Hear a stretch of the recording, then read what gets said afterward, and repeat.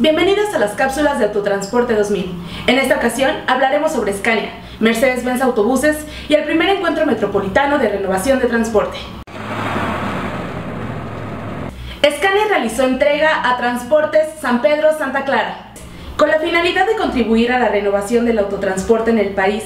Por medio del programa de chatarrización, la armadora entregó 20 unidades modelo MP70MX con carrocería Marco Polo y un chasis K250, las cuales cuentan con potentes motores de 250 caballos de potencia. Dichos vehículos recorrerán la ruta Expreso Ojo de Agua hacia Indios Verdes, en la cual a lo largo del día son aproximadamente 5.500 personas las que utilizan el servicio público, con unidades de esta empresa transportista ubicada en el Estado de México. Durante el evento, Marcelo Montana, director de servicios de Scania México, mencionó que es de gran importancia fortalecer la alianza con San Pedro Santa Clara para apoyar en la renovación de su flota y fomentar así una mejor calidad del medio ambiente. Con esta entrega, la empresa transportista y Scania tienen el objetivo de contribuir con la renovación vehicular para ofrecer vehículos menos contaminantes y un servicio más eficiente y cómodo. El área de postventa de Mercedes-Benz Autobuses lanzó el Taller Móvil Express.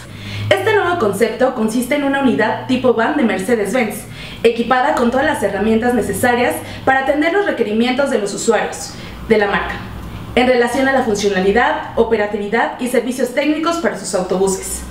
Algunas de las ventajas de este taller son traslado a cualquier parte del país de forma personalizada y rápida, ahorro de tiempo, ya que se adapta a los horarios de los clientes, reducción de costos gracias a que se eliminan los gastos de arrastre y calidad de atención proporcionada por personal altamente especializado, quienes además de solucionar de manera precisa los problemas que presenten los vehículos, compartirán tips de mantenimiento para alargar la vida útil de los componentes, así como para su mejor funcionamiento. Con este taller móvil, la armadora alemana busca ofrecer a sus clientes mayores opciones de eficiencia, calidad y rapidez, en los temas de mantenimiento preventivo y correctivo de sus vehículos. Se llevó a cabo en la Ciudad de México el primer encuentro metropolitano de renovación de transporte. En este evento se reunieron más de 20 empresarios y líderes de esta industria, donde discutieron diferentes propuestas que mejoren el transporte en la ciudad capital. Entre los resultados más destacables que se dieron fue el uso de unidades Euro 6 a gas natural y eléctricas para un corredor que irá de Pino Suárez a Huipulco en un carril confinado sobre la calzada de Tlalpan. Estos vehículos sustituirán cerca de 800 microbuses y serán entre 90 y 100% más sustentables, gracias a que disminuyen significativamente la emisión de gases contaminantes. Para este proyecto se inició un proceso de pruebas con un vehículo a gas natural y posteriormente se incorporará uno eléctrico, con la finalidad de que los transportistas puedan comprobar las ventajas y así elegir la opción más conveniente para su operación.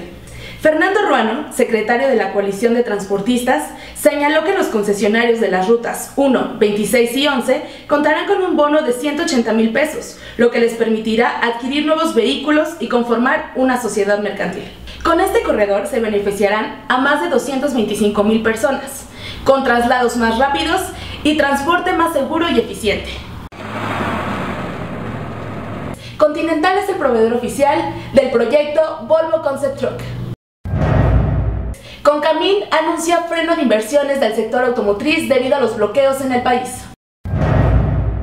Daimler entrega el primer tractocamión con emplacado electrónico. Esta es la información, porque usted no estuvo ahí, nosotros sí, aquí se lo informamos. Gracias por su atención. Hemos llegado al final de esta cápsula informativa, pero no olviden vernos el próximo miércoles con mayor información del sector. Suscríbanse y síganos en nuestras redes sociales y para mayor información en nuestra publicación mensual Autotransporte 2000 y en nuestro blog diario autotransporte.mx.